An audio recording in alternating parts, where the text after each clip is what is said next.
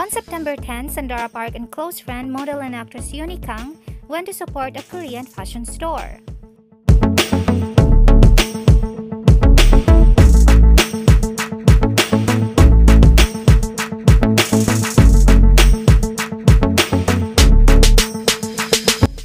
There are other celebrities and personalities who went to support the fashion store, and one of them is AOMG rapper Gray. Dara and Gray were not photographed together, but they both liked each other's IG posts. And they were also featured on the fashion brand's official IG account. Gray and Dara are known to be good friends and publicly showing their support for each other.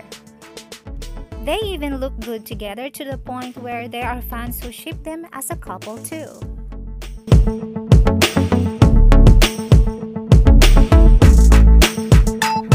Like the video, please comment, like, and subscribe.